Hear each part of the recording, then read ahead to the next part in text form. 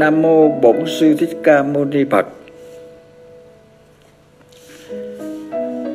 À, kính thưa Phật tử à, gần xa thân mến. Hôm nay là ngày Chủ nhật, nhằm ngày 6 tháng 4 năm 2008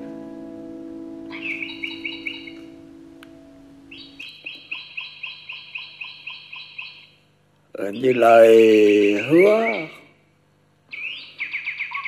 là công việc uh, truyền đạt uh, Phật pháp hướng dẫn hướng dẫn tu học từ xa. Hôm nay chúng ta vẫn tiếp tục. Hôm nay là coi như là lần thứ ba. Chúng ta thực hiện cái chương trình truyền đạt giáo lý, hướng dẫn tu học từ xa cho các phật tử. Ở lần trước, tôi giới thiệu và triển khai về cái đề tài là tham thiền. Mà cái bài bài thi đó, bài thơ đó là, cái đầu đề đó là tham thiền hai, tức là là hướng dẫn về cái phương pháp tu thiền mà đây là lần hai ở trong cái bài thơ thứ hai trong tập thơ của Như Nguyễn Thiền Sư.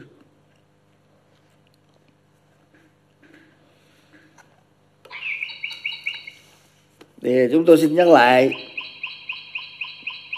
bài thơ đó là gồm có bốn câu là đối cảnh vô tâm khỏi luận thiền tham thiền năng sở rõ phân minh. Quan tâm quan cảnh tùy duyên đến tránh tưởng quan đường nghĩ viễn vong.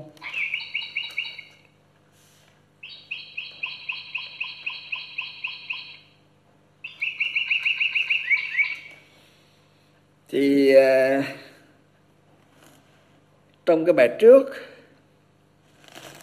tôi có giới thiệu vấn đề và tôi cũng giải thích vấn đề là đối đối cảnh vô tâm khỏi luận thiền.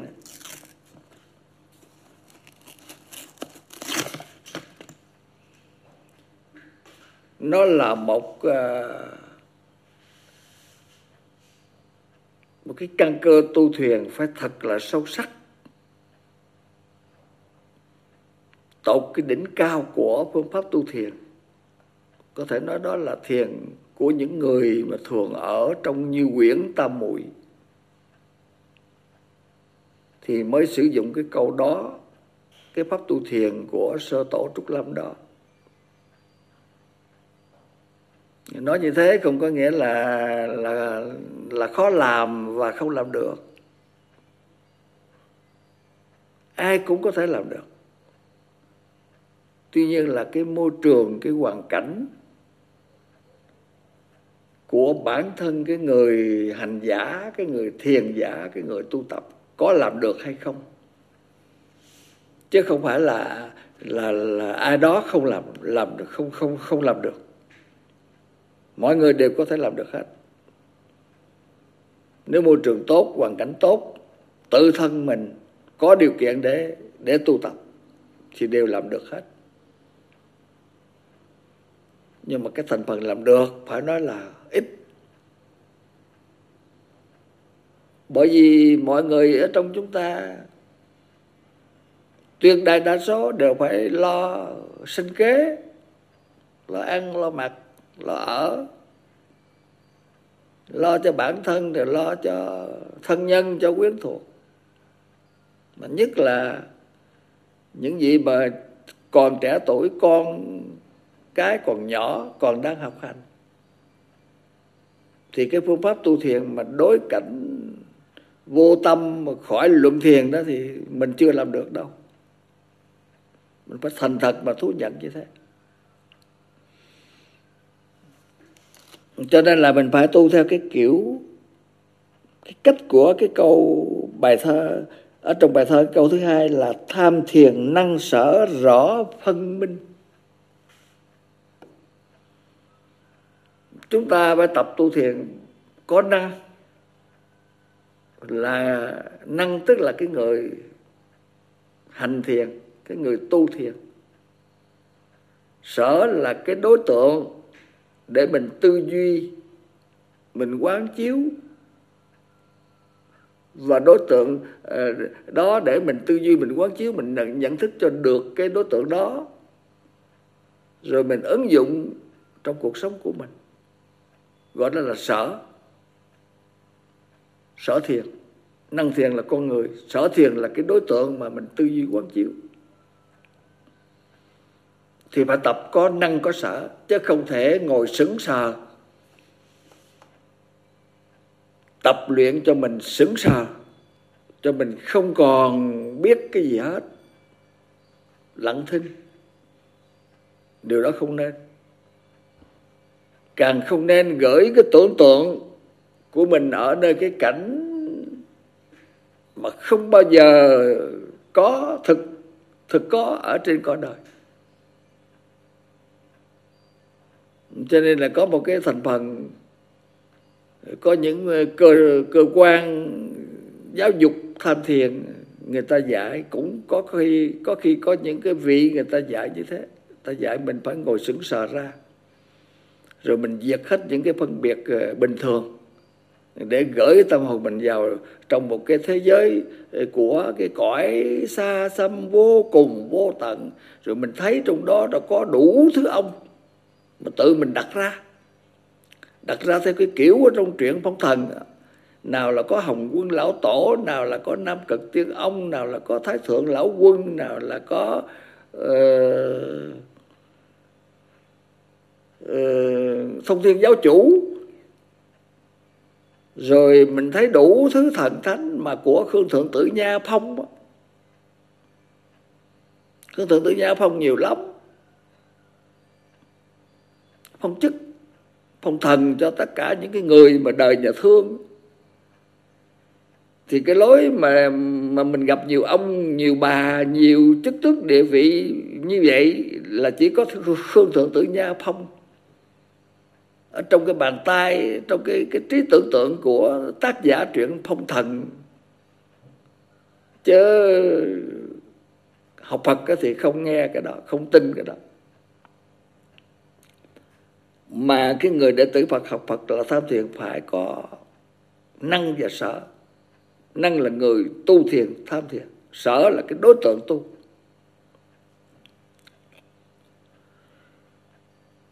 Thế thì ờ, năng sở phân minh là bây giờ mình phải làm cái gì đây?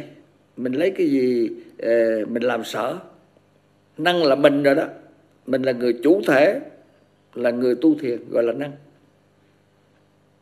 Bây giờ trên bước đường tu học của chúng ta ta lấy cái gì để ta làm sở, ta làm đối tượng để tu đây? Thế thì cái này á, những bài tham thiền sau có những cái bài tham thiền nói rõ về cái vấn đề đó. Nhưng mà đây là tôi giới thiệu tổng quát. Cái bài tham thiền hai này tôi giới thiệu tổng quát cho các vị nghĩa là phải có năng thiền và sở thiền. Dứt khoát là phải nắm vững cái đó. Ờ, bây giờ năng sở là như thế này. Ờ, hoặc là ta quán tâm hoặc là ta quán cảnh. Ừ. À, tham thiền năng sở rõ phân minh quan tâm quan cảnh tùy duyên đến. Có lúc ta quan cảnh có lúc ta quan tâm. Dựa vào giáo lý của phật dạy. Thí dụ thí dụ như kinh bát đại nhân giác. Thì xin phật tử để ý, các phật tử để ý nghe, kinh bát đại nhân giác là nó có 8 điều giác ngộ của bậc đại nhân. Có 8 điều thôi. Mà đó là cái cái tinh hoa, cái cốt lõi của những người đệ tử Phật tu tập. Không được coi thường.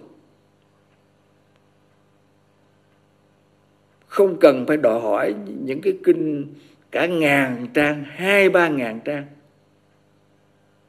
Không cần đòi hỏi cái kinh mà phải tụng, cả ngày mới hết một bộ. Mà nếu biết vận dụng tu tập, thì tám điều giác ngộ của bậc đại nhân là chúng ta tu suốt đời và chúng ta có đem lại cái niết bàn từ niết bàn nhỏ cho tới đại niết bàn, đều là do ta, khả năng của ta thực hành, ứng dụng. Có thể đưa ta đến đại niết bàn cũng được. Thì à, cái bài giác ngộ thứ nhất là Phật dạy rằng là thế gian vô thường, quốc độ nguy thúy tứ đại khổ không? Ngũ ấm vô ngã sinh diệt biến dị, hư ngụy vô chủ, tâm thị ác nguyên, hình vi tội tẩu, như thị quán sát, tiệm ly sinh tử. Vậy nói cái bài mà gọi là để nhất giác ngộ đó thôi chúng ta tham tham gần như là cả không biết bao nhiêu ngày, tháng thậm chí cả đời mà mà không biết là đạt tới cái đỉnh cao của cái sự yêu cầu mà kinh điển đã dạy hay không nữa đó. Thế thì là dựa vào cái bài giác ngộ thứ nhất là Phật dạy rằng là cái người đệ tử Phật trên bước đường tu tập phải lấy cái đối tượng. Thế gian vô thường, quốc độ nguy thúy. Tứ đại khổ không ngũ ấm vô ngã. Phải lấy thế gian vô thường, cõi nước tạm bỡ mong manh. Tứ đại. Tứ đại là, nội tứ đại là thân của chúng ta ngoại tứ đại là đất nước gió lửa, là là khổ và cuối cùng tứ đại đó không còn, không không còn gì, không có gì. Và ngũ ấm thân, cái thân ngũ ấm của chúng ta. Chúng ta phải tư duy quán chiếu, phải thấy cho được cái tính vô ngã của nó. Và nó luôn luôn sanh diệt, luôn luôn thay đổi. Mà sanh diệt thay đổi như vậy là tại vì nó hư ngụy nó giả tạm. Chứ nó không có cái tự ngã chân thật để nó tự giữ gìn cái sự bền chắc của nó. Cho nên nó là không có chủ, hư ngụy vô chủ. Và phải coi chừng cảnh giác cái tâm của ta. Tâm của ta mà nếu không khéo, thì nó là cái nguyên nhân để tạo ra những cái điều ác nghiệp. Để rồi chúng ta phải chịu lấy cái quả báo ác nghiệp do ta làm. Cho nên gọi là tâm thì ác nguyên, tâm là cái nguồn ác. Nguyên nhân tạo ác. Cái thân này là một cái một cái chầm một cái đầm. Cái đầm ở thì là bao nhiêu nước mưa nó tuôn xuống đầm, xuống chầm cái thân này là bao nhiêu nguyên nhân, kết quả của tội lỗi có thể nó tích lũy nó cô động vào trong cái thân này. Thì cái thân này là cái chồng tội. Phải luôn luôn quan sát như thế. Lần lần xa lìa được sự sinh tử. Đây đại để là cái bài giác ngộ đó. Chúng ta phải học cái bài đó. Học cái bài đó rồi cho kỹ. Học thuộc rồi rồi phải phải tham à, phải tham à. chứ tham thiền là học thuộc rồi phải tham chứ còn học không là, như tôi nói vừa rồi là ai nghe cũng thuộc dễ dàng thôi nhưng mà vấn đề là phải tham à. phải dựa vào đó mà tư duy mà quán chiếu mà nghiên cứu để mà để mà nhận thức bằng cái nhận thức của mình để mà nhìn nó bằng cái nhãn quan của mình nhìn nó bằng cái dạ nhãn quan của mình, nhận thức bằng cái cái tư duy quán chiếu của mình. Chứ còn nghe nghe cái lời kinh nói như vậy rồi thôi đó, thì nó không đem lại kết quả. Nghe lời kinh nói như vậy rồi thôi đó, biết rồi thôi đó, thì giống như là mình mua sách nữ công gia chánh nên nấu ăn, ta dạy các cái món nấu ăn Ờ, từ là nấu ăn ờ, cái khẩu vị của Việt Nam, rồi nấu ăn cái khẩu vị của người Nhật, rồi nấu ăn theo cái khẩu vị của người Trung Hoa, nấu ăn cái khẩu vị của người Pháp, người Đức, người Ý, vân vân. Mình đọc hết, mình thuộc hết trơn á. Nhưng mà mình không có nấu. Mình không có nghiên cứu thật sự ờ, cái cách làm và cách nấu. Rồi không có mua nguyên liệu để nấu. Thì vĩnh viễn là là sách, vẫn là sách thôi cái người thợ đó không có thực hành thì không bao giờ có đồ ăn bao giờ. Do vậy cho nên mình học kinh xong rồi đó, mình cần phải tham thiền là vậy đó. Tham là mình phải phải ghé vào. Mình phải đặt mình vào. Nó tương quan tác tác dụng với một cái đối tượng mà mình cần phải tư duy, mình phải nghiên cứu, mình phải nhận thức. Gọi đó là tham thiền. Thế thì tham thiền năng sở phải phân minh và có lúc chúng ta phải quan tâm có lúc chúng ta phải dựa trên cái, cái tâm mà làm đối tượng có lúc chúng ta dựa trên cảnh cảnh vật bên ngoài mà làm đối tượng. Cho nên quan tâm quan cảnh tùy duyên đến. Cái duyên mà nó đến cái duyên cảnh đến thì ta quán cảnh.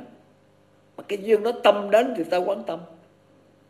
Cái duyên đó do cái thấy đến thì ta quán về cái thấy cái duyên nó đến do cái nghe.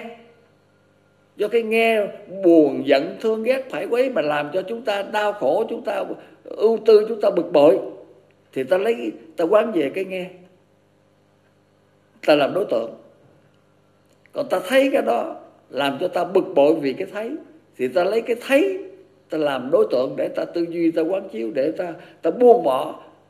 Và ta có thể tự giác tự nguyện rằng ta không không cần thấy cái đó nữa nếu có trường hợp cần phải thấy như vậy ta bỏ cái thấy đó đi. À, thế thì là phải lấy cái thấy cái nghe cái ngửi cái nếm cái xúc cái biết của nội tâm. Thì lúc đó ta gọi là quán tâm. Thấy mà sanh buồn bực thấy mà sanh phiền não khổ đau ta bỏ ta không thấy nữa. Nghe sanh bực bực sanh khổ đau, ta không, ta bỏ cái nghe như vậy, ta không nghe cái đó nữa. Ngửi, nếm, xúc, biết. Sáu cái sáu cái lĩnh vực đó là là sáu cái lĩnh vực của nội tâm, từ nội tâm mà có. Đó là phần năng năng thiền, phần chủ động. Do thấy nghe, ngửi, nếm, xúc, biết của con người. Thì ờ, ta ta suy tư về cái cái cái phần cái phần chủ thể phân biệt là là thấy nghe ngửi nếm xúc biết của mắt, tai, mũi, lưỡi, thân ý. Thì trường hợp như vậy, tư duy quán chiếu để ta xa lìa, để ta chọn lấy cái nào lấy, cái nào bỏ, cái nào nên gần gũi, cái nào nên viễn ly. Thì những cái lúc như vậy cái duyên nó đến như vậy, ta gọi đó là lúc đó là tham thiền. Chúng chúng ta sử dụng về cái cách, cái một quán tâm. Chẳng hạn như trong tư niệm xứ quán quán thân bất tịnh là quán quán quán sắc, quán cảnh. Mà quán thọ thị khổ, quán tâm vô thường, đó là quán tâm do do vậy cho nên là tu thiền là phải có lúc thì sử dụng quan tâm có lúc thì sử dụng quan cảnh. Mà tứ niệm xứ quán đức phật dạy cho những hàng thanh văn uh, tu về cái quả vị a la hớn đó. Là cái phương pháp tu đầu tiên là đức phật dạy ờ, có có lúc thì cần phải quan tâm có lúc thì cần phải quan cảnh. Là cụ thể là tứ niệm xứ quán đức phật đã dạy cái đó. Quán thân bất tịnh là là là quán thân là là quán cảnh. Bởi vì thân là một cái một cái vật sắc ở trong sắc thanh hương vị xúc pháp. Sáu cái cảnh ở bên ngoài. Còn khi mà gọi là quán tâm á, thì uh, quán tâm vô thường thì ta quán về thọ về tưởng về hành về thức. Nếu mình chia sẻ kỹ càng nói một cách khác á, là là trong ngũ quẩn á, có lúc mình lấy cái đối tượng về về về sắc pháp về vật chất mà mình quán gọi là quán cảnh. Tôi xin nhắc trong ngũ quẩn cái chữ sắc đó sắc quẩn đó nó không đơn giản đâu. Mình học à, ngũ quẩn đâu phải để ý dữ lắm á chứ ngũ quẩn là là là, là mênh mông. Vạn pháp nằm trong ngũ quẩn á mà nếu mình xem thường cái từ ngũ quẩn đó là mình học Phật không không không được đâu.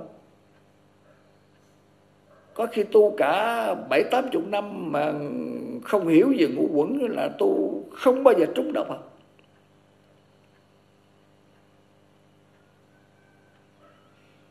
Bởi vì cái chữ sắc quẩn đó, nó gồm cả sắc,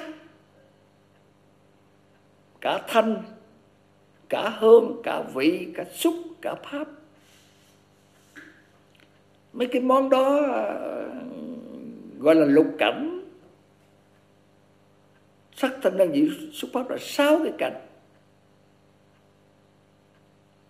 Vật chất, chữ sắc là vật chất là những cái đó là những cái mình ở trong cõi đời này, nó là những cái món cụ thể. Nó có cái cái tác dụng và và cái bản chất cụ thể. Đó là đó là vật chất, đó là âm thanh, đó là hương, đó là vị, đó là xúc, đó là pháp. Nó có cái tác dụng cụ thể để nó làm, nó có thể làm vui cho con người, mà nó cũng có thể làm khổ cho con người. Là nó nằm ở trong cái chữ sắc quẩn. Chữ sắc tổng quát là vật chất. Và vật chất này nó biến dạng ra là là vật chất, nói chung. Ngoài ra nó còn là thanh, cũng là vật chất, hương cũng là vật chất, vị cũng là vật chất, xúc cũng là vật chất, pháp cũng là vật chất. Sáu cái thành phần đó gọi là cảnh, lục cảnh. Nếu sau cái cảnh đó, sau cái món vật chất đó mà nó làm vui cho con người, thì nó chỉ là cảnh thôi. Nó có khả năng làm vui cho con người. Nhưng mà ngược lại cũng vật chất, cũng thanh, cũng hương, cũng vị, cũng xúc, cũng pháp. Nó có thể làm đau khổ cho con người. Thì lúc đó đó, sáu cái món đó gọi nó là lục trần. Là sáu cái món mà làm nhiễm ô tâm tánh, làm cho con người bị thọ thương, bị đau khổ. Cho nên cái chữ sắc quẩn đó phải học đó. Phải tư duy, phải tham nó mới thấy mình không tham, tức là mình không lấy nó, không lấy sao cái món đó mà làm cái đối tượng để tham, để để để nghiên cứu, để tư duy, để quán niệm. Mình không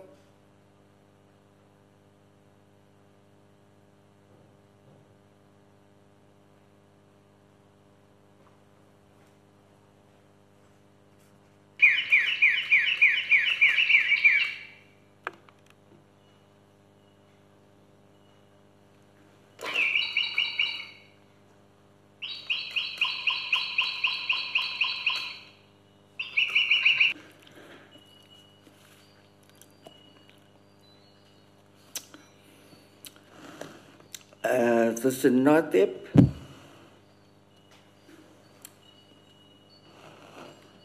À, tiếp tục uh, cái đề tài tham thiền hai.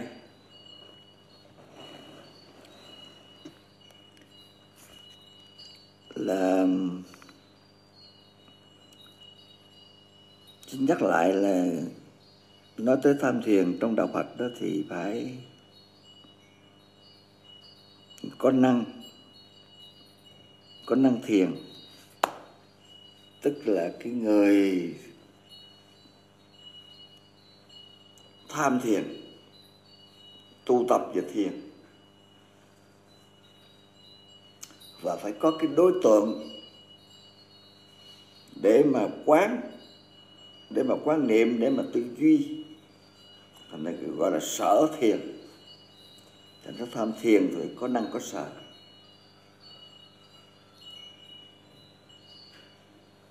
Mà như chúng ta vừa nghe cái đoạn trước mà tôi triển khai đó. Thì khi mà mình dùng cái cái đối tượng thiền, mà ở đây là cái đề tài mà chúng ta đang đang nghiên cứu đây đó, là quán về ờ, quán về cảnh. Mà cảnh ờ, thì nó nằm ở trong, nó nằm ở trong ờ, sáu món là sắc,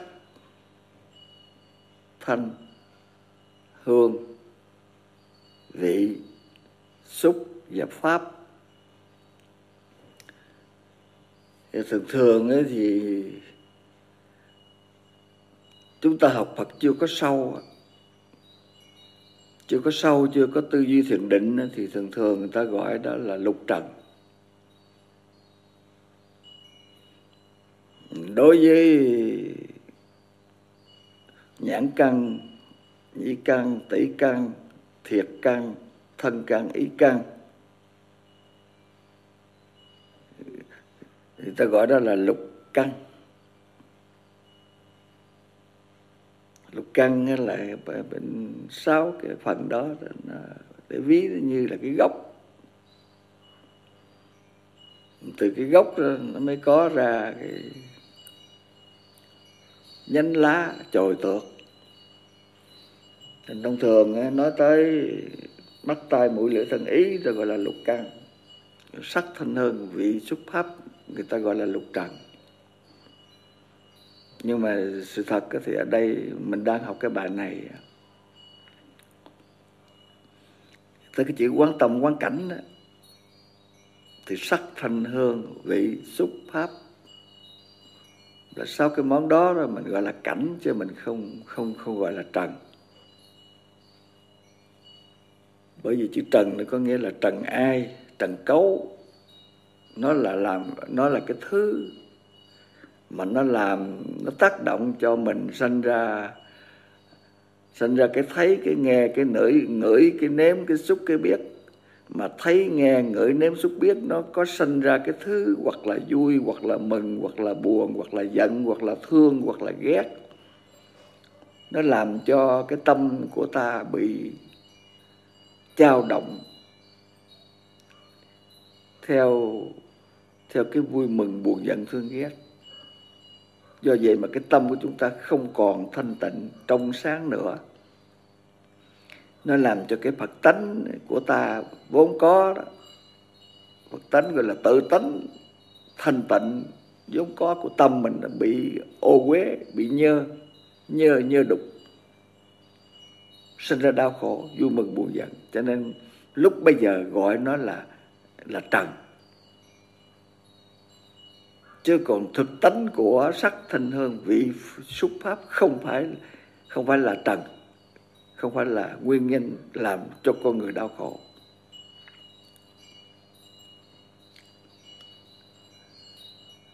Mà tự tánh của nó vẫn như tất cả vạn pháp khác. Mà kinh pháp hoa được phật dạy là chư pháp tùng bản lai thường tự tịch diệt tướng. Cái câu đó nó hết sức là là là là, là sâu sắc. Phải để ý cái đó. Bằng không mình tu sai hết á. Ừ, hiện tượng văn pháp từ xưa nay tánh của nó cũng như tướng của nó. Tướng của nó mặc dầu nó là quyển tướng nhưng mà nó cũng không phải là nguyên nhân đau khổ cho con người. Còn tánh của nó là thường tự tịch diệt tướng cái tướng nó là tịch diệt và cái tánh của nó là thanh tịnh từ xưa tới nay. Từ khi mà có, từ khi mà có vũ trụ, có nhân sinh, thì tự tánh, tự tướng của hiện tượng dạng pháp, tự vắng lặng, tự thanh tịnh, tự trong sạch. Do vậy cho nên mình gọi là tu là mình trở về với cái tự tánh thanh tịnh vốn có của hiện tượng dạng pháp, của tự tánh thanh tịnh vốn có của mình. Do vậy cho nên là gọi là tu hành đừng đừng đặt vấn đề quan trọng. Đừng đặt vấn đề gì quan trọng hết. Mình tu mình tu hành mà mình coi là quan trọng là mình sai rồi, căn bản rồi.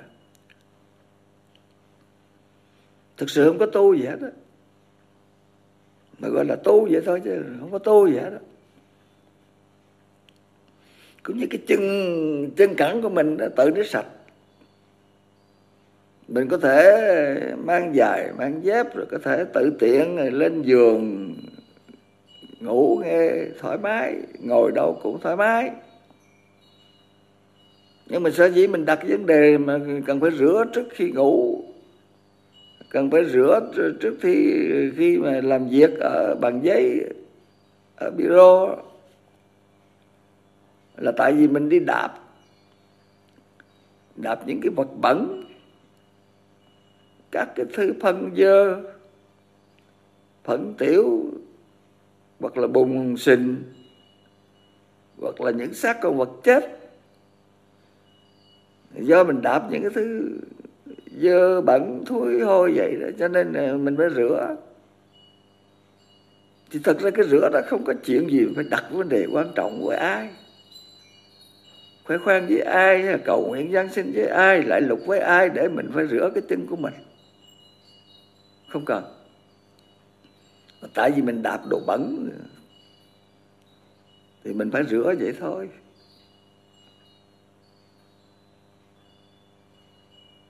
Mà những người trí thức những người lớn những người hiểu biết người ta dạy rằng hệ hệ, hệ người nào mà đạp bẩn thỉu dơ giá như vậy những cái vật thối tha ô quế đó mà muốn vào nhà muốn lên giường muốn ngồi ghế muốn làm việc tử tế thì phải rửa chân.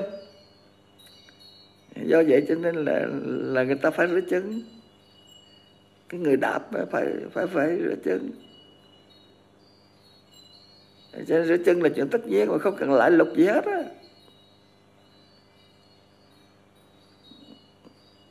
Mình phải rửa vậy thôi à. Cho nên cái lúc mà rửa chân thì không cần lại lục về dân sinh và cầu nguyện với người lớn tuổi, người hiểu biết gì hết, không cần. Bởi vì ta dạy rồi. Đạp phần tiểu dơ dái, ô quế đạp sắc chết thú tha, thì giờ cứ nghĩa là phải rửa cho nó sạch chứ thôi à. cho nên nghe là là là tu hành mà mình lại lục, mà mình khất nguyện, mình gian sinh đó là là tu sai lầm rồi, căn bản là sai lầm rồi, mình không có được cái gì hết mình gửi gắm vào nên một đấng bề trên, một đấng thiên liêng, một đấng gì đó, đều không phải không phải cái đạo Phật dạy như vậy. Đạo Phật không có dạy như vậy. Mà đạo Phật dạy rằng là mình phải thấy phải, phải tư duy quán chiếu. Mình phải thấy mắt tai mũi lưỡi thân ý không phải là nguyên nhân đau khổ cho con người. Và sắc thanh hương vị xúc pháp lục cảnh không phải là, là nguyên nhân làm đau khổ cho con người. À, đó, tôi gọi là quán tâm quán cảnh tùy duyên đến là vậy đó. Tâm cảnh như như chỉ giá thị hà lự bồ đề đạo bất thành.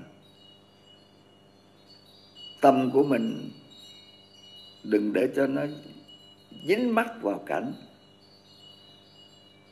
Mắt thấy sắc mà không nhiễm ở sắc. Tai nghe âm thanh mà không nhiễm không lưu luyến không đam mê, không đắm trước âm thanh. Mỗi ngửi hương lưỡi nếm vị, thân thì xúc, chạm, mềm cứng, trơn, láng, rít, nhám đều không có bận biểu, không quan tâm, không lưu luyến không tham cầu. Ý có khả năng nhớ nhớ hình bóng của sắc, nhớ hình bóng của thanh, của hương, của vị, của xúc. Nhưng mà ý không có đam mê, không có lưu luyến, không bị những cái hình ảnh của năm cái món sắc thanh hương vị xúc, nó làm cho bận lòng cho ưu tư, cho đau khổ con người. Thế là chúng ta tu vậy là đúng đó.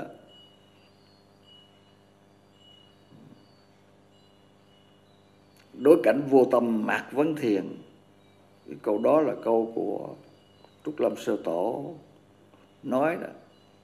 Được chừng đó đó, và tư duy quán chiếu để trở về, mình làm chủ sáu căn, mình làm chủ với sáu cảnh thì chừng đó gọi là đối cảnh vô tâm, khỏi luận thiện. Nhưng mà đó, đạt tới trình độ đó là trình độ cao lắm. Cao lắm, người tu thiền phải phải công phu, phải tự huấn luyện lâu lâu năm, lâu ngày mới được tới đó. Còn bây giờ thì chúng ta phải sử dụng quán tâm và quán cảnh.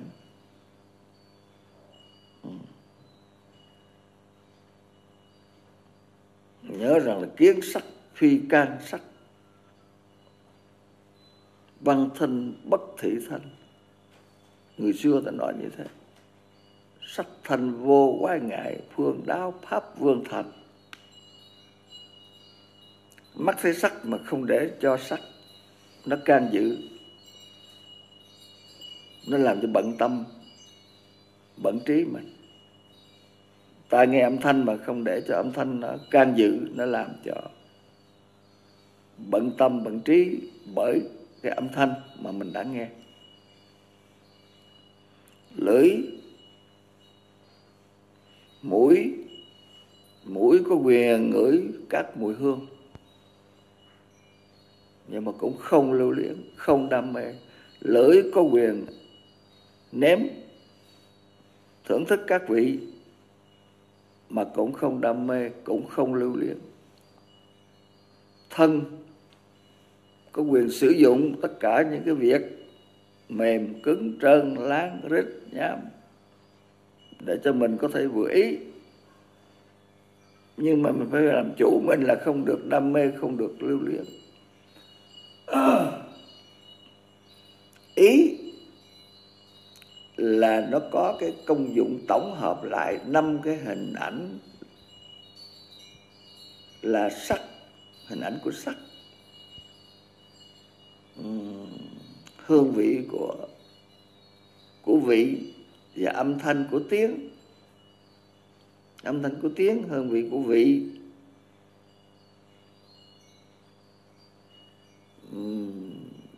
Các mùi thơm của hương tổng hợp hết. Cả những cái bóng dáng của năm cái, cái cảnh trước. Nhưng mà cũng phải làm chủ. Không để cho những cái bóng dáng của năm cái cái cảnh sắc thanh hương vị xúc tôi gọi là tiền. Tiền lục cảnh. Là tiền ngũ ngũ cảnh năm cảnh trước. Không tác động, không làm bận tâm, không lưu luyến, không đam mê. Thì gọi là đối cảnh vô tâm là như thế. Vì thế cho nên vấn đề tu tạ tu tu hành tức là tập. Tu tức là phải tập. Và tập thì phải trải qua cái tư duy, cái quán chiếu để nhận thức. Gọi đó là tham thiền. Đó là cái câu tham thiền năng sở rõ phân rõ phân minh, quán tâm, quán cảnh tùy duyên đến.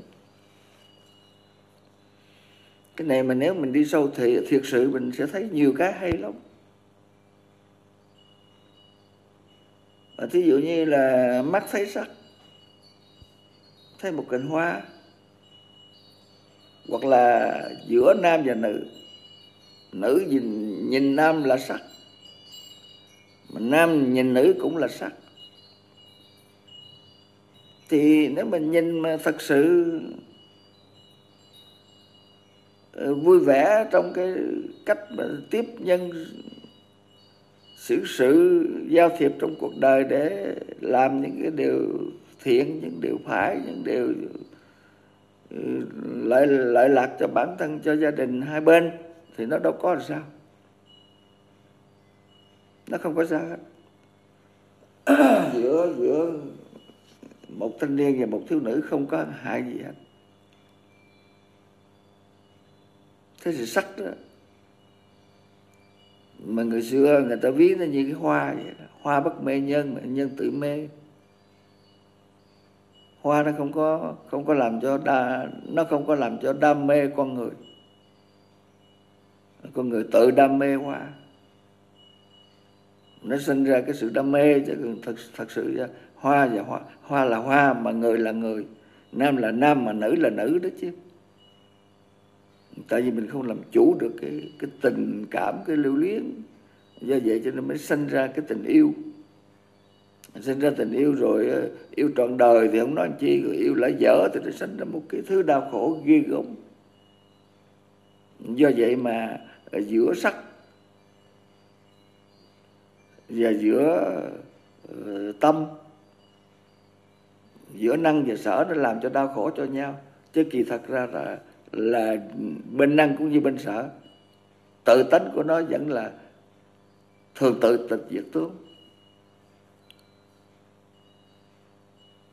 Thanh cũng vậy. Thanh cái tiếng đàn.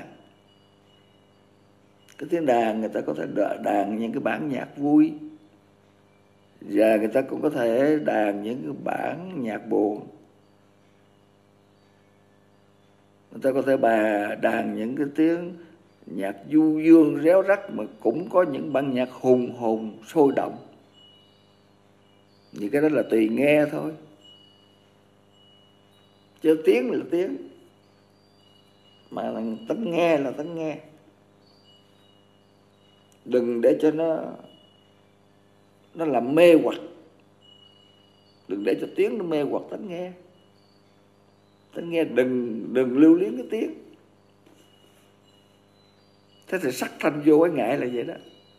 Sắc và thanh vô quái ngại. Được như vậy là đến được cái cái thành đô niết bàn của của đất pháp dương nên người xưa ta gọi là sắc thanh vô quái ngại, phương đáo, pháp vương thành là vậy đó.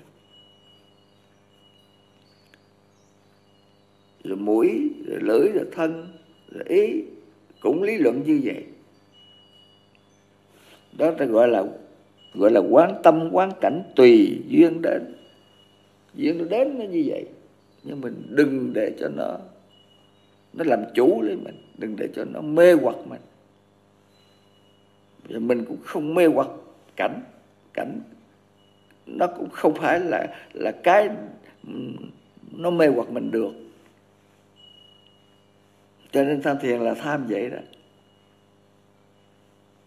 Chứ tham thiền đừng có ngồi không đừng có ngồi không để để huấn luyện cho mình giống như là một tượng đá, một tượng đồng, một tượng gỗ, một tượng thêu. Không phải vậy.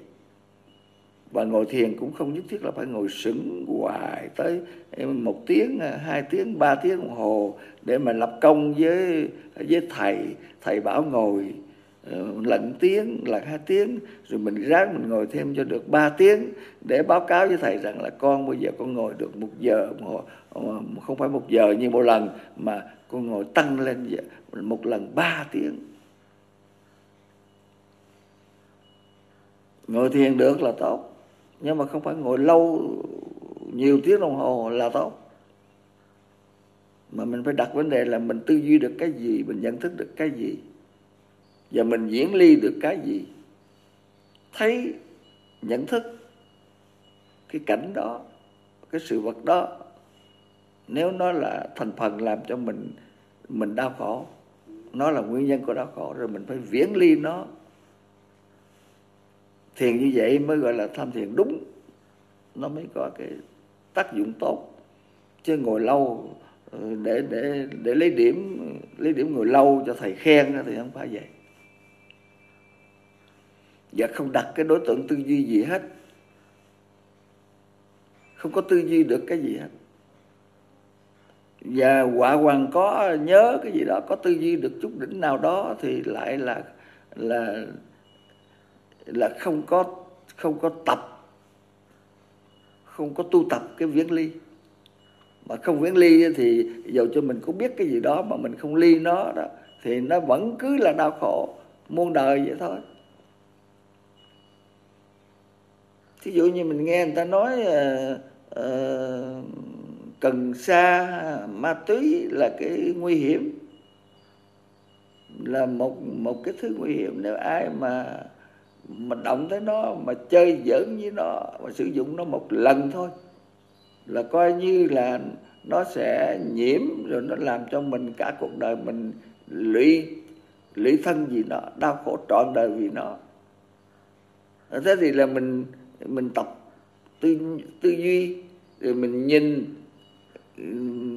tìm cái thứ đó tìm cái vật đó để nhìn coi nó ra làm sao.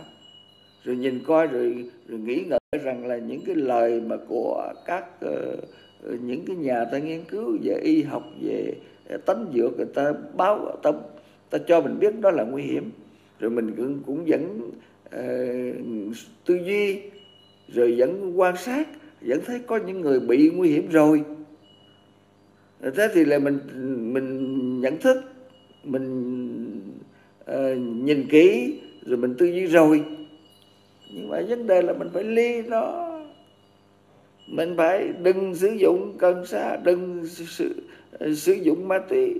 Mình phải viễn ly nó. Thì cái cái cái sự tư duy sự nghĩ ngợi sự học tập sự quan sát của mình mới đem lại cái kết quả chứ ở đây mình vẫn tìm cần sao tìm ma túy để mình nhìn rồi vẫn ngồi tư duy nghe những cái lời sách vở những cái lời của các cái nhà y học những cái nhà uh, sinh vật học. Người ta phân tích vẫn nhận thức mà không viễn lý. Không viễn lý thì không có được cái gì hết. Và để cho khi mà đã nghiện ngập đã xa xưa rồi mà đi cầu nguyện giáng sinh với với, với đấng bề trên với đấng uh, uh, sáng tạo nào đó uh, hoặc là thần thánh nào đó càng sai lầm nặng hơn nữa. Do vậy cho nên là cái việc mà tu thiền ở trong đạo Phật là phải để ý cái đó đó. Dựa vào cảnh đối tượng thiền để tư duy để quán chiếu để nhận thức. Tư duy quán chiếu nhận thức xong rồi phải tập. Nếu nó là nó là những cái vật, những cái thấy nghe ngửi nếm xúc biết có hại, là phải viễn ly những cái thấy nghe ngửi nếm xúc biết đó. Những cái thấy nghe ngửi nếm xúc biết nào đem lại sự nhẹ nhàng, sự thanh thoát cho thân tâm thì cần tu tập, thực hành những cái pháp đó. Thiền là như vậy đó. Đạo phật là như vậy đó cho nên tôi thường nhắc hoài, tôi tôi tôi sợ tôi sợ những người phật tử mà mà mà chuyên đi lại lục, khấn giá cầu nguyện, mà không học tư duy quán chiếu thiền định, rồi rồi thỉnh thoảng có học tư duy quán chiếu thiền định chút đỉnh mà không có học tập về cái cái viễn ly, cái xa lìa, cái buông bỏ, thì tu đạo Phật không đúng, không phải đạo Phật như vậy.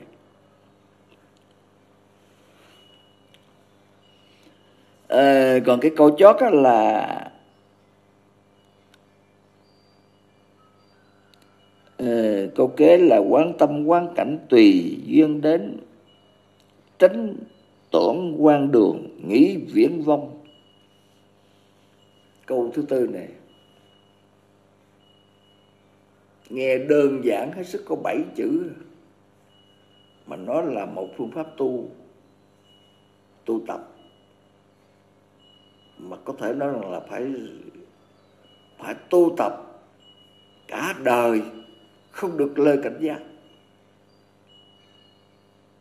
Ừ. Tránh tưởng quan đường nghĩ diễn dông. Hàng phật tử chúng ta tăng cũng như tục. Mà hàng phật tử mà tại gia đó gọi là, là, là trần tục đó.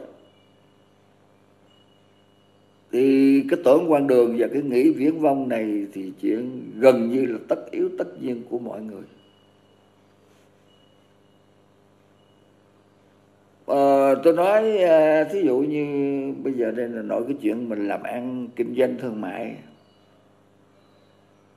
Mà mình à, mua ông địa về mua thần tài về mình thờ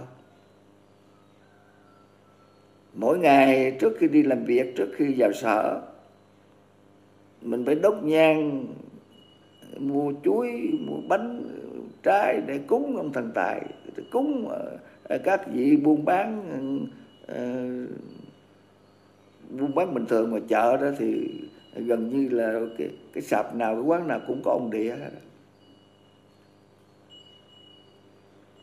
Thế thì ờ, là, là cái ý, ý tưởng mà cúng ông địa mà để mà làm ăn cho buôn may bán đắt làm ăn khá giả cho, cho xí nghiệp cho cơ quan mình là cái đó ông giám đốc đó bà giám đốc đó không phải là phật tử.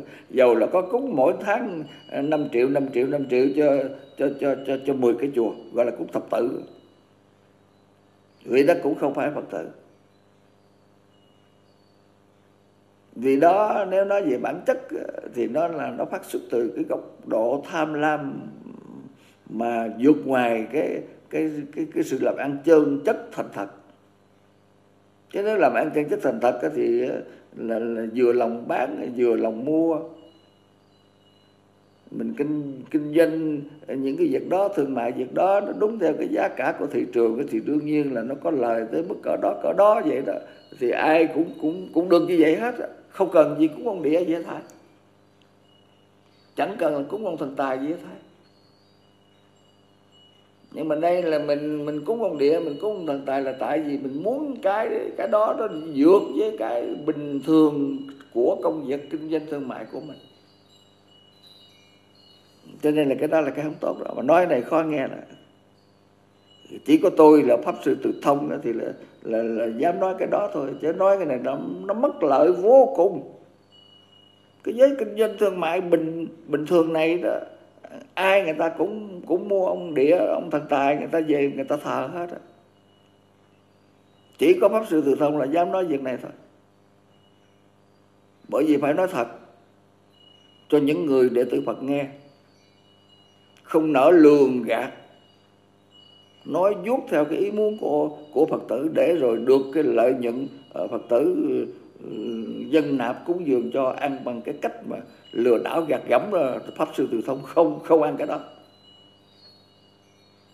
Mà pháp sư từ thông thì muốn nói những cái gì của đạo Phật. Chân chân chính để cho người Phật tử nghe, để để bỏ những cái không cần thiết, để được cái lợi lạc của bồ đề, của niết bàn chứ còn vật phi nghĩa không ăn, người phi nghĩa không thọ nhận. Cho nên nó thẳng như thế. Tôi nói thẳng như thế rồi các vị nghe rồi các vị suy nghĩ đi. Các vị mua có một ông địa thôi. Rồi các vị mua có một ông thần tài thôi. Trong khi cái bà mà đi gánh bán ông địa đó, bà gánh hai đầu, hai cần xé cái ông đi bán ông địa ông thần tài đó họ gánh hai đầu hai cái giỏ. Nếu mà thật sự mà thờ ông ông ông địa ông thần tài đó mà mà được làm ăn giàu có đó thì cái ông cái bà đi, đi gánh gánh những cái vỏ ông địa gánh những cái vỏ thần tài đi bán rồi người ta đem về người ta, ta, ta, ta thờ để ta làm giàu chứ chứ ai đi bán cho mấy gì ta điên gì ta đi bán ờ, để những cái mà để người ta có khả năng gian giái cầu nguyện để làm giàu. Cho nên là cái đó là cái ý tưởng đó đó. Ý tưởng mà tưởng mà thờ thần tài, thờ ông địa mà làm ăn khá đó là gọi là ý tưởng quan đường. Là cái suy nghĩ đó gọi là suy nghĩ viễn vông đó. Chưa kể là tôi có những cái thằng học trò mà nó pháo rối ở trong nhà trường, ở trong chùa. Nó ăn rồi nó ở không, nó coi tivi, rồi nó đi làm kinh doanh một cách bần tiện, bẩn thỉu vậy mà ờ, những cái người ừ, bá tánh bổn đạo mà cầm thần tài đem lại cho nó khai quan điểm nhãn tôi thấy thiệt là không lẽ mà tôi la lên chứ. Tôi chịu không nổi. Mà bây giờ mình giật áo cho người ta xem lưng mà nó nó tùm lum ra thì coi không có được. Chứ thiệt ra là muốn lôi đầu mấy cái thằng đó đó, mà giả cho nó làm mấy cái bạc tay cho nó nó bỏ những cái thứ gian manh là là, là, là, là móc tối người ta kiểu là, là du liêm sĩ như vậy. Cái tuần mặt nó mà nó vẽ mặt vẽ mày cho ông thần tài. Để ông thần tài mới thấy đường mới hiểu biết. Cái tuần mặt nó mà nó vẽ mặt ông địa để cho ông địa được được được biết. Cái tuần mặt của nó mà nó vẽ mặt quan âm nó vẽ mặt phật. Thế thế thì là phật là còn ra cái thở thể thống gì? Quan âm còn ra cái thể thống gì? Vậy mà đem cho những cái thằng bất bất nhân, bất nghĩa, không học thức, không biết gì hết, đem đi là gọi là khai quan điểm nhãn, gọi là làm lễ an vị. Thế thì là bồ tát phật còn ra cái thể thống gì? Thần tài, ông địa còn ra cái thể thống gì? Vậy mà người ta vẫn làm đó nha người ta vẫn làm đó, rõ ràng đó là những thằng đó là những thằng ở trong chùa, trong trường học của tôi đó. Nó đã từng chiếm đoạt chùa chiền, trường học của tôi nó nó làm rối rắm đó. Mà tôi chạy trị nó còn chưa được đó. Cho nên phật tử lầm lạc biết bao nhiêu mà nói. Thành ra là là tránh tránh tưởng quan đường đó là tôi mới nói thần tài đó. Thần tài với ông địa đó. Còn nào là mẹ sanh mẹ độ nào là quan công nào là à, bà cửu thiên quyền nữ nào là uh, chúa tiên chúa ngọc.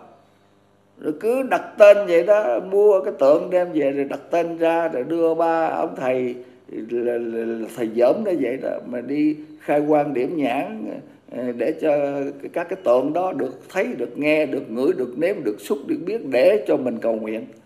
Ôi chúng cha ơi, hết sức là quan đường, hết sức là diễn dông hết sức là mê tín dị đoan như vậy đó mà mà đa số phật tử còn dướng cái đó dữ lắm đó nha. Nhưng mà tôi biết rằng là tôi nói là nhiều người ghét tôi lắm. Ghét lắm, có người thù hận. Họ mua kinh của tôi, họ mua sách của tôi, họ dục, họ bỏ họ không nghe rồi còn mua còn bỏ nữa cơ.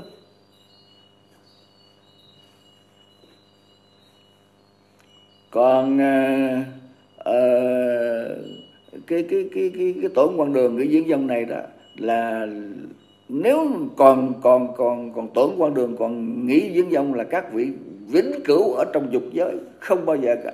Ờ, ở, ở trong ở trong ờ, trong dục giới, sắc giới, vô sắc giới vĩnh viễn các vị không bao giờ ra khỏi được tam giới.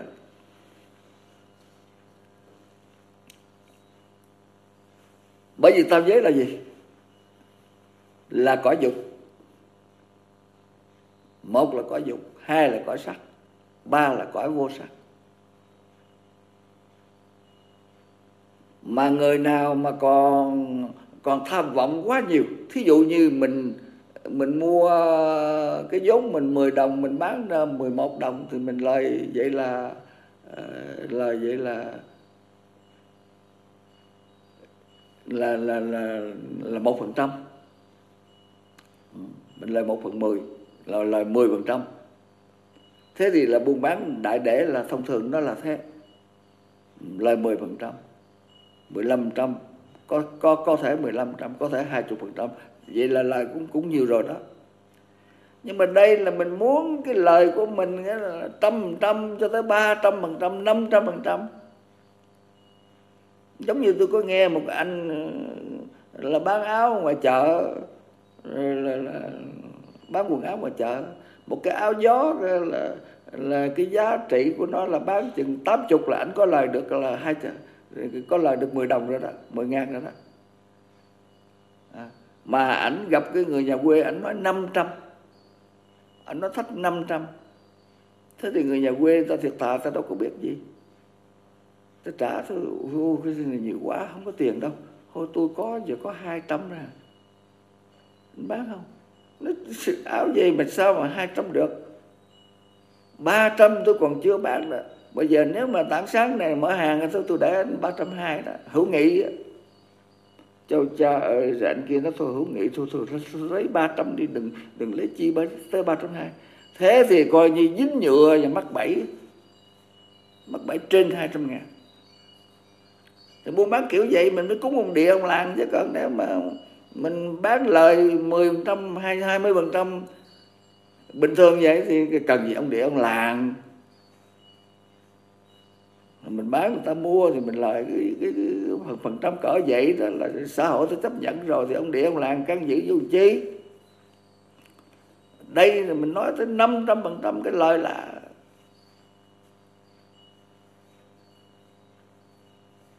thành ra cái đó đó cái đó là là khi mà mua ông địa ông làng mà thờ ông địa ông làng là nó có cái ý một là cái cái ý tưởng mình tham vọng quá cao hơn cái khả năng cái cái cái việc làm của mình đang có. Thành ra là là, là là còn ý niệm tham lam như vậy đó là mình là người còn ở trong dục giới đó. Bởi vì chữ dục là gì? Chữ dục là tham vọng. Là đam mê.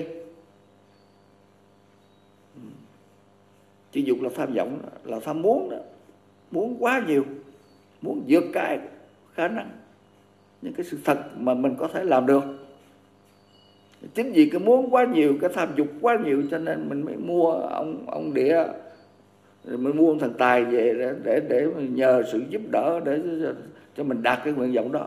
Do vậy cho nên là là khi mà mua một ông thần tài một ờ, một vị ờ, ông, ông địa đó là tự tâm của mình là người cõi dục giới rồi. Chưa ra khỏi cõi dục bao giờ và mình nghĩ tưởng rằng ông ông địa ông thần tài để giúp đỡ cho mình được những cái việc mà tham vọng của mình muốn. Như vậy là mình trở thành cái người quan đường nghĩ diễn dông người thuộc về vô sắc giới. Mình là người cõi vô sắc. Cho nên là nội cái mà mình thờ, mình thờ sai lầm thôi. Mình thờ những vị thần thánh sai lầm thôi thì chứng minh rõ ràng là mình là người ở cõi dục. Cõi dục đầy đau khổ. Dục vọng đầy đau khổ bởi dục vọng và mình là người ở trong cõi sắc, mình là người ờ, ở trong cõi vô sắc, mình là người quan đường, mình là người áo tưởng nghĩ diễn dông, là vẫn cứ đau khổ vậy vậy cho nên nội cái thờ ở trong gia đình thôi, hàng ngày đó là cũng là khó lắm đó. Nó nó nó thành ra cái người mà mà tưởng quan đường và nghĩ viễn vông là không phải là người đệ tử Phật. Cái này khó. à chỉ có pháp sư từ thông là dám nói chuyện này. Bởi vì nếu mà phật tử không cúng nữa là cứ đi đi xin từng bữa ăn cũng có.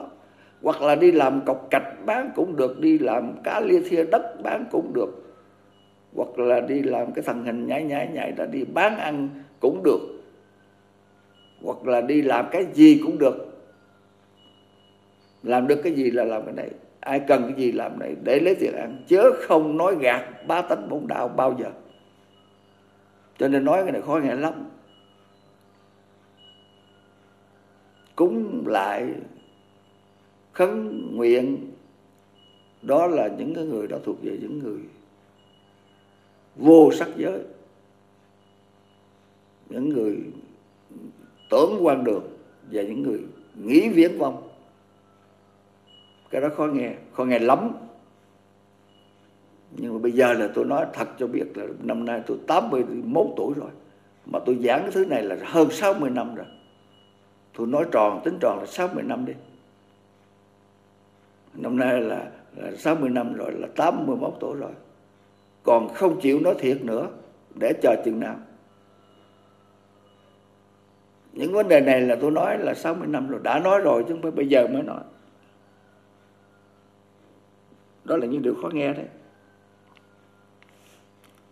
Cho nên tôi trước sau, ở trong cái tập thơ của Duy Nguyễn Thiền Sư, tôi có làm bài thơ đó. Bài thơ về lễ bái lễ bái ông gì, lễ bái ai? Cái chữ ông gì đó có nghĩa là, nó có ý nghĩa là phủ nhận đa thần giáo. Bất cứ là ông gì, mặc sắc ông tôi không cần lễ bái. Ông là ông gì? Lễ bái ai? Thường thường những cái người mà lễ bái đó là không có biết cái ông đó là cái ông gì hết á.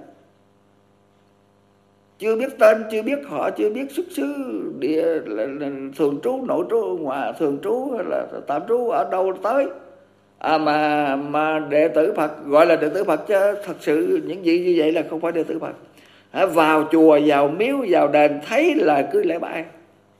Chưa? Không cần biết. Tên gì? Họ gì? Lý lịch ra sao? Cho nên cái bài bài thơ mà lễ bái là câu thứ nhất. Là tôi tôi để nói cái một câu đầu thôi là để chứng tỏ rằng là đã đã đã không chấp nhận bất cứ ông gì ông gì biết tên, đặt tên rồi cũng còn không không không cần sợ nữa chứ chứ đừng nói chi mà những ông mà mình không biết tên. Lễ bái ai? Ai có nghĩa là ai? Là tôi tôi không không phụ, tôi tôi không chấp nhận ông là ông đâu. Mà ông là ai? Ừ. Cho nên cái câu đầu trong bài thơ lễ bái tôi tôi để là lễ bái ông gì, lễ bái ai?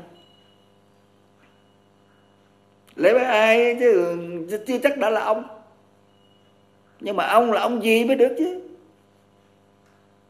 Bởi vì theo đạo Phật tôi học qua thì không có ông gì tôi ngán hết trơn. Chỉ có cái là mình mình sắc tranh trộm cướp tà dâm vọng ngôn ý ngữ lưỡng thiệt ác khẩu rồi mình ngán mấy ông công an mình ngán mấy ông tòa án. Bởi vì công an họ bắt họ thủ lý rồi đưa vô ờ, rồi tòa án rồi tòa án xử bỏ tù có thể từ 10 năm 15 20 30 50 năm đó ngán cái cái cái cái, cái, cái ông đó đó thôi à chứ còn những cái ông mà gọi là thần thần thần ờ, đa thần đó, thì cái người học đạo Phật không bao giờ nghe. Cho nên là câu đầu là lễ bái ông gì, lễ bái ai? Ông là ai? Ông là người nào chứ? Tôi không biết. Tôi tôi tôi tôi không không gọi là ông là ông nữa mà. Sao tôi biết ông là ông được? Chẳng qua là làm hình tượng để lóc ngóc lóc ngóc nó vậy thì tôi thấy vậy thôi, chứ làm sao tôi biết ông là ông. Biết đâu ông là thần ở trong nếu cái ông đó là người ta gọi là ông ông đó chỉ có người ta kêu bằng cậu. Cậu gì đó, cô gì đó. Thế thì đâu phải gọi là ông được. Thuộc về con nít mà. Do vậy cho nên cái lễ bái coi chừng. Mình tưởng mình lễ bái ông gì chứ nhiều khi mình lễ bái thằng và con ở trong đó con con con con bé tư bé năm bé bảy ở trong à, con tí con sữa con dần con mẹo nó trong nó nó chết yểu rồi nó người ta tôn thờ nó vậy đó. Thằng gì đó vậy ta kêu gọi là cậu. Cho nên là ờ, miễu bà thường thường là là có thật cậu bà cậu. Ừ. Lễ bái ông gì lễ bái ai? Bao năm lễ bái bấy năm cầu lễ bái là luôn luôn đi đôi với cầu cầu. Nhưng mà khấn và cầu và nguyện nhất khoát là không bao giờ được. Cho nên câu thứ ba là khấn cầu không được, hên xui mãi vì cầu không được cho nên là người ta cầu rất dữ nhưng mà không không được. Do vậy mà mà làm ăn lúc thì hơn được được lời, được lãi, được ờ, thành dưỡng cũng có. Nhưng mà rồi lỗ lãi rồi rồi có có người ta tuyên bố phá sản kia cả các cái công ty lớn trên thế giới có lúc là thành thành đạt được cái là triệu triệu triệu triệu đô la tỷ tỷ đô la. À, nhưng mà có lúc là tuyên bố phá sản kia cả do vậy cho nên là hễ có có hên thì có xui có được thì có mất có thắng thì có bại. À, do vậy cho nên cái việc làm ăn là phải tự mình quyết định cuộc sống của mình. Kim sanh tiện tu quyết đoán tưởng liệu bất do biệt nhân sống trên đời này tự mình định đoạt số phận mình, chứ không do ai khác, đừng nghĩ lại nơi ai khác. Ý lại nơi ai khác là thua đó. Bằng cớ là bao năm lễ bái bấy năm cầu, khấn cầu không được, hên xuôi mãi. Nếu mà cầu được thì là ai lại lại lại lấy cái xuôi chí phải hên hoài chứ.